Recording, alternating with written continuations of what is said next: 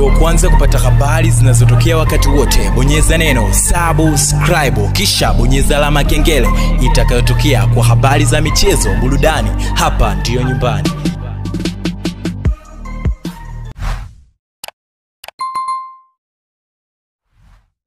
Yes, bwana, siku ya leo ni siku ambayo eh, Shooting walikuwa wakipiga dhidi ya Dar es Salaam Young Africa eh, klabu ambayo kwa sasa ni inafanya vizuri sana katika ligi kuu eh, ya Tanzania bara. Kiukweli mimi naweza nikasema eh, siku ya leo Dar es Salaam Young Africa wameonyesha performance kubwa sana. Eh, kipindi cha pili eh, tumeona bao la kwanza linafungwa na Faisal Toto eh, bao la kwanza ambalo Faisal ameweza kufunga eh, kiweledi sana sana, lakini pia eh, bao la pili limeweza kufungwa eh, na Bakari Nondo Mwamieto. Mimi naweza nikasema hii ni taarifa nzuri sana kwa washabiki wa klabu wa mabingwa wa kihistoria Dar es Salaam Young Africa eh, na mabingwa wa kihistoria wanazidi kuonesha uwezo mkubwa sana sana katika ligi yetu ya Tanzania bara. Mimi naweza nikasema eh, Dar es Salaam Young Africa wapewe pongezi eh, kwa jambo ambalo wamelifanya siku ya leo, na kiukweli naweza nikasema eh, ligi ya Bongo sasa hivi imekuwa na ushindani mkubwa sana sana. Tumeona Ruvu Shooting eh, na wao wakifunga bao moja zuri kabisa